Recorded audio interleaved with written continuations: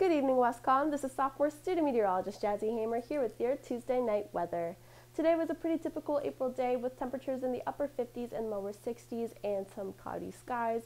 And it only seems fitting that we end the month of April off with some rain, which we do have in our forecast for tonight. But as of right now on our Midtown campus, we have some overcast skies with a temperature of 56, humidity at 77%, and winds coming from the southeast at 8 miles per hour. Now looking at the rest of this week, we can expect some thunderstorms to roll in for tonight, which I will get to in just a moment, and some above average temperatures to finish out our work week. We also can expect some showers to roll in for this weekend.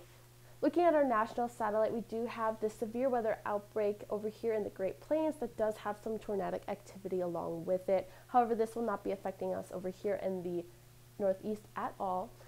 We do have some overcast skies over us currently with this storm system just off to our west with its associated fronts.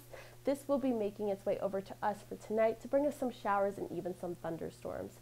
You can see the rain better depicted here, highlighted in the green, and once again, this will be making its way over to us for the, later this evening.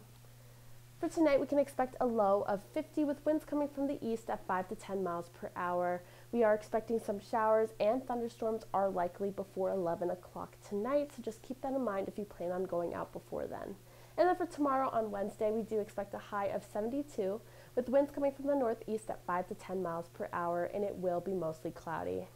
Finally, we reach Thursday, and we do see decreasing clouds for this day.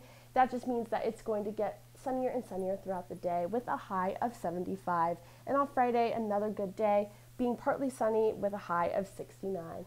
Finally, we reach the weekend and we stay partly sunny once again for Saturday. However, Sunday's not looking too great with that chance of showers. We also stay in the upper 50s and lower 60s for this weekend.